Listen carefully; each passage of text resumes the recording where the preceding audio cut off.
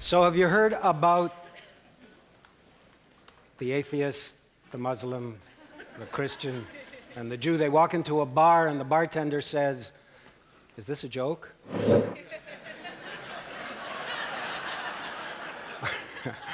well, these days, religion is no joke. In fact, if there is a joke, it appears to be that the joke is on us. For thousands of years, religion was not held to be funny.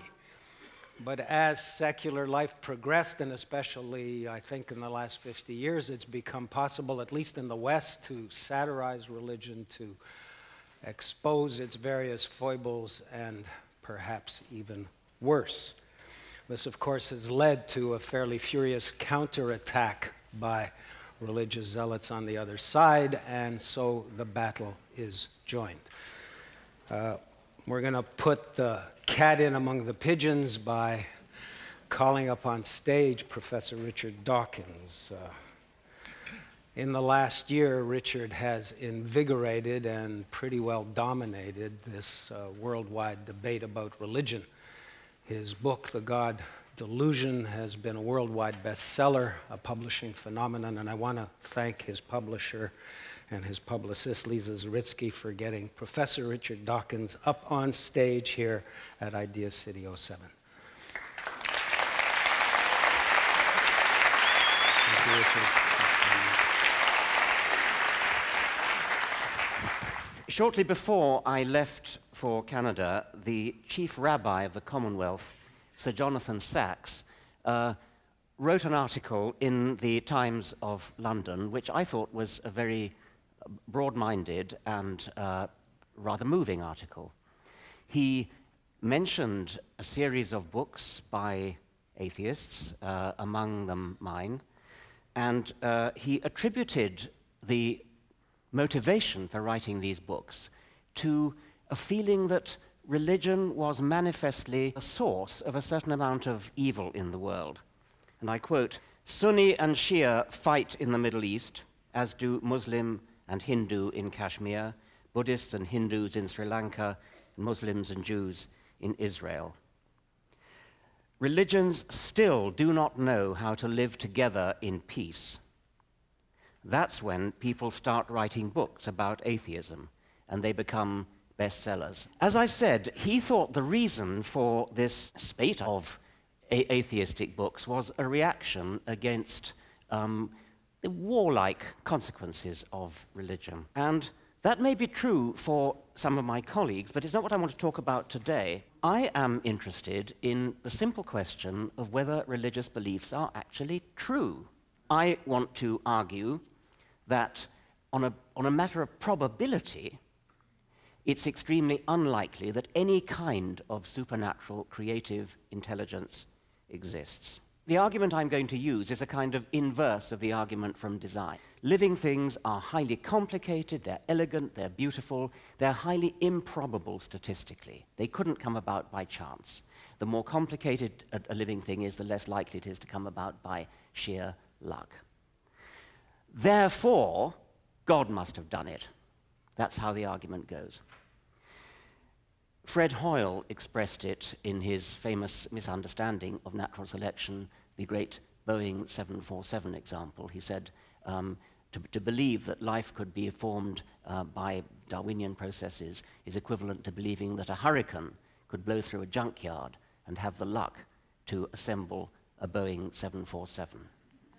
And that is a an eloquent statement of the great creationist misunderstanding, which is that Darwinian evolution is a matter of chance. Of course, it isn't. It's a matter of gradual, cumulative natural selection. And the stress is on the word cumulative. Because it's cumulative, you have a slow, steady, incremental climb up the, the gentle slopes of Mount Improbable. And at the top of Mount Improbable, you have a very improbable, complicated, beautiful, elegant biological structure, the biological equivalent of a Boeing 747. The essence of the argument that I want to put is that God Himself would have to be a fortiori, even more complicated and improbable an entity if he is to do what is expected of him, which is to create life or to create the universe, let alone listen to prayers and forgive sins. The essence of my argument is that God is the ultimate Boeing 747, and that any attempt to deploy the argument from improbability, which is actually the main argument that any theist uses in favor of theism, any attempt to deploy the argument from improbability backfires, shoots itself in the foot, because it can be turned on itself, it can be turned on God. Now, the Darwinian theory works beautifully once life gets started, but there may be a gap at the beginning which gives people problems. What about the origin of life? What about that first step that kick-starts the evolutionary process?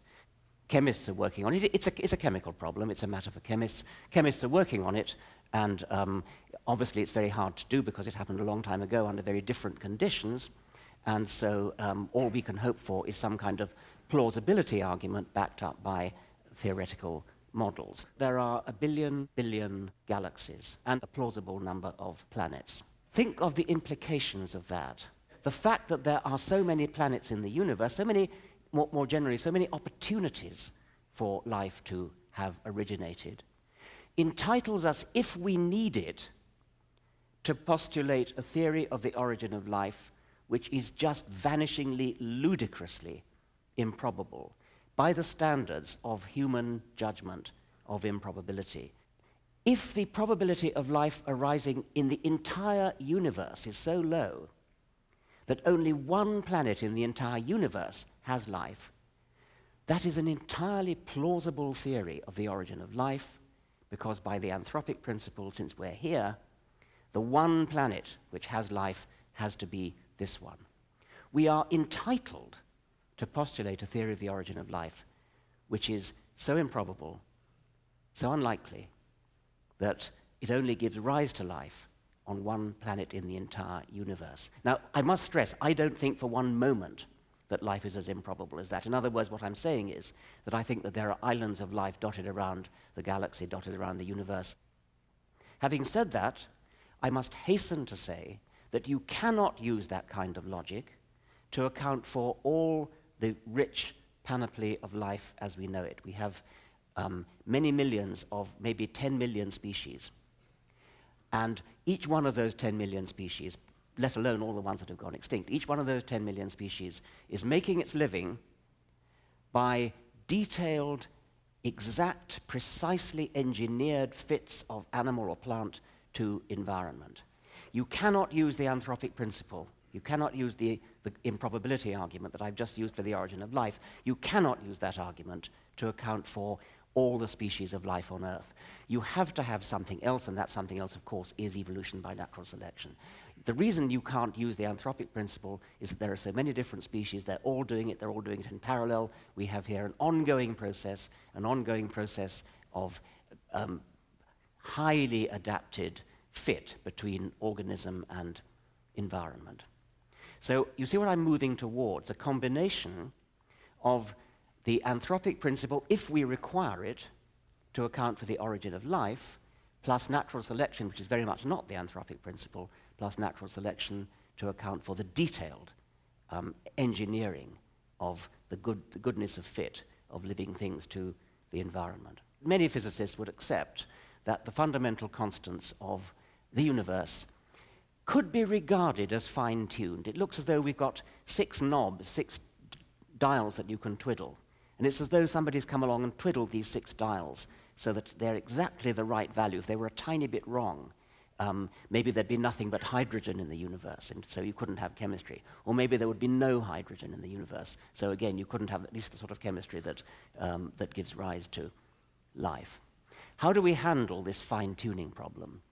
Well, the God solution might occur to you. Um, maybe it was God who twiddled the knobs. Maybe it was God who fine tuned the constants. As I've pointed out, that won't do because we are left with the question who fine tuned God in the first place. There are other physicists, or there are physicists, who think there's not a problem at all, who would say something like, well, it's only our ignorance that makes us think that these six knobs are twiddleable. Maybe there's only one possible way for them to be. Maybe they're not independent of each other. Maybe they're sort of ganged up together in some way that if you twiddle one, they all go, or something of that sort. And so those are the physicists who say, well, we, we, we don't yet know enough. We're waiting for further knowledge, and when we have it, we'll understand. Then there's a third group of physicists, which um, are, are, the ones that, um, with my limited understanding of physics, this is the one that appeals to me more. Maybe there are lots of different universes, uh, and they all have different fundamental constants, slightly different from, from, each, from each other, and it may be that the vast majority of them have their knobs twiddled into the wrong position. But only a, tiny minority have the knobs twiddled into the right position. And once again, the anthropic principle kicks in and says, of all those billions of different universes, a foam, a bubbled foam of universes, which have different laws and constants, it has to be one of the tiny minority that contains our universe, that, that, that, that is our universe, because, again, using the anthropic principle, here we are. So I'm building up a picture of uh, the anthropic principle on two different levels universe, planets, and then natural selection takes over. Now, I just want to finish by saying that this seems to me to be a very, very convincing and coherent and actually beautiful and elegant account of the origin of everything that we know. And elegance is, is what I would stress. The, the idea that something that you don't understand, you immediately say, oh, God did it, is uh, not only logically flawed, but actually aesthetically offensive. I mean uh, offensive in the sense that it's, it, it, it subtracts from the beauty and the elegance of science when we've got this wonderful theory for life, to then have to jettison all that and throw it away, having explained the origin of complexity and the beauty of life, to then say, oh, God did it. Because things like God, things that, that are, are complicated and capable of designing anything, have to come about by some explicable process. They come about late in the universe, not, um, not early. I've got to stop. Thank you very much.